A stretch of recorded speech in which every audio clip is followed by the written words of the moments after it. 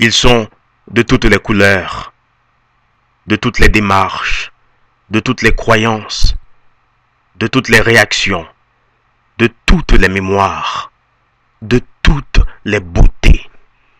Ceux-là qui se sont déversés sur la terre haïtienne.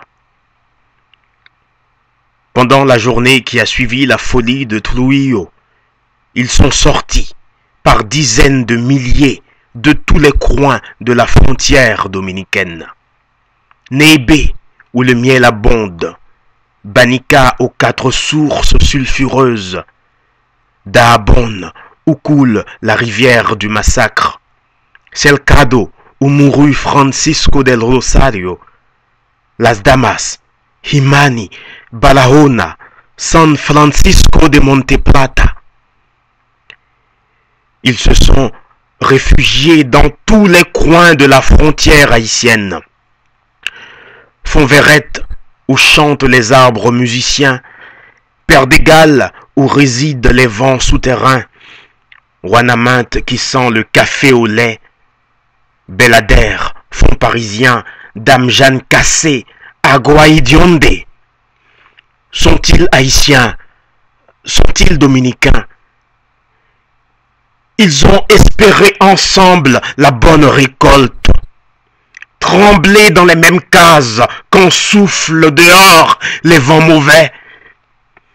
Ils ont reçu les saints, les anges, avec les mêmes offrandes chanter les mêmes refrains avec les mêmes instruments de musique. Ils ont dansé les mêmes rythmes. Ils ont fait la même cuisine. Ils ont bu le même café noir. Défendu la liberté avec la même turbulence. Ils ont planté l'amour dans le même humus de volupté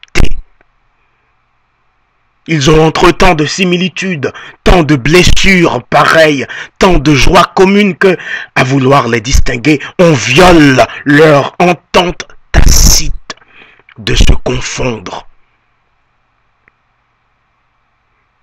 Ils sont venus coupler leur vie d'ici à l'autre bord avec le rêve de créer le peuple des terres mêlées.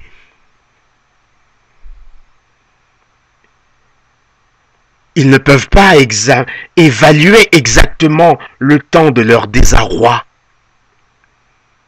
Mais ils ont clairement conscience que la terre qui est là, devant eux, porte le poids des arbres, et qu'elle est leur terre.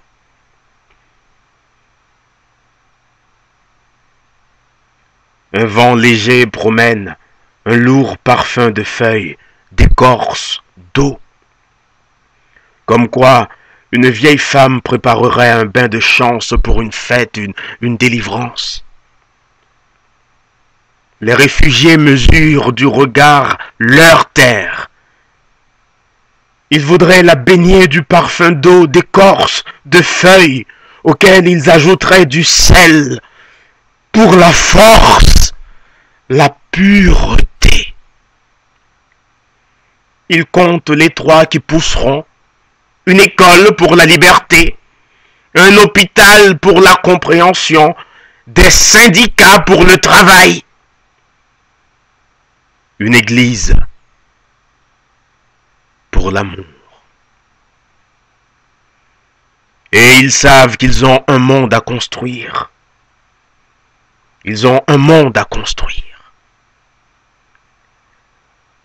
Pédelo et Adèle regardent longtemps le ciel nu libre, par-dessus les clameurs de la frontière. Sur la terre noirâtre, ils dessinent avec leurs doigts, à la vérité on ne sait quoi. Une aile peut-être. Cela fait, ils sourient, comme s'ils chantaient.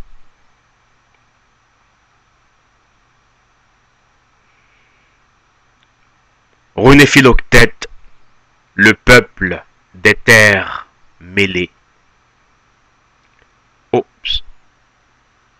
Merci, à bientôt.